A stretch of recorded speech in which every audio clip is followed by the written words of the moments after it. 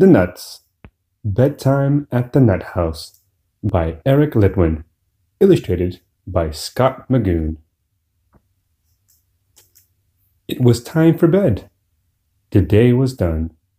But Hazel and Wally were still up having fun. And they sang together. We're nuts!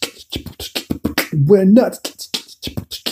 We're nuts!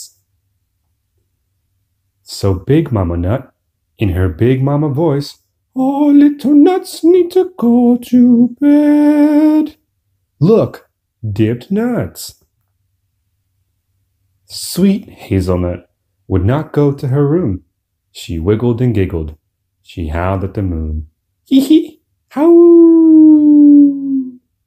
Then Hazel and Wally kept singing their tune. We're nuts. We're nuts. We're nuts. Nut bowl, open late. So Big Mama Nut, in her big mama voice, all little nuts need to go up to bed. Wally Nut danced like a baby baboon. He wiggled and giggled. He howled at the moon. Hee hee, nut butt, how? Then Hazel and Wally kept singing their tune. We're nuts. We're nuts. We're nuts. Astro Nuts.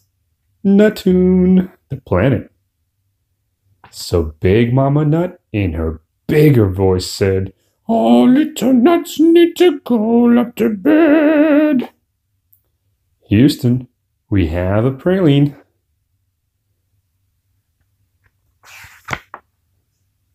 Did Hazel stop singing? Figure nut, figure nut. No. Did Wally stop playing? Cha cha cha cha cha cha cha cha cha cha cha. No. They had not heard a word that their mama was saying. They bounced up and down like two happy balloons. Hee hee hee. They giggled and wiggled. They howled at the moon. How? Then Hazel and Wally kept singing their tune. We're nuts. We're nuts. We're nuts. Toot. Titanic.